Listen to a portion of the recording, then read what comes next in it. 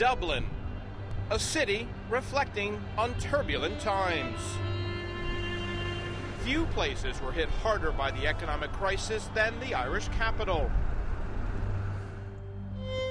For two long years, the Emerald Isle was down on its luck as debts, banks, and bailouts dominated national headlines. We had an awful tough time between 2008 and 2010 because there was one financial catastrophe was announced after another, and every time people were beginning to get their confidence back, we'd be hit again. Thankfully, for the last year, we haven't had the same knockbacks. A year after the EU and International Monetary Fund bailout, there's a sense that the worst may be over. In Dublin city centre, retail is picking up.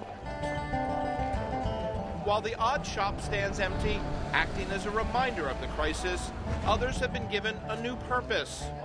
At the height of the boom, this was a luxury furniture shop. Now it serves as a pop up art gallery.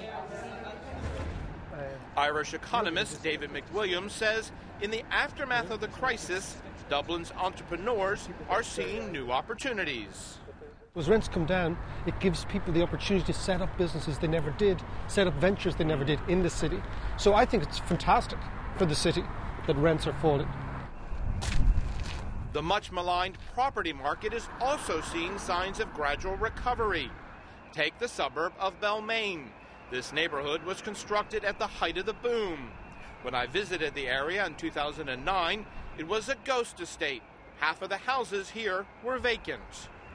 Since then, Belmayne has become a success story.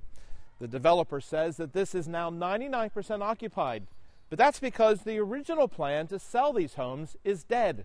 Most people here rent.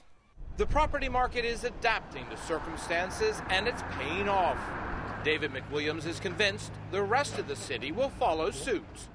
And what happens after big disasters? People dust themselves down and they reinvent themselves. And I have no doubt that Dublin will do exactly this. Dublin is beginning to shake off its hangover from the party that went too far. The next boom may be some way off, but when it comes, Dublin wants to be ready. Jim Boulden, CNN, Dublin.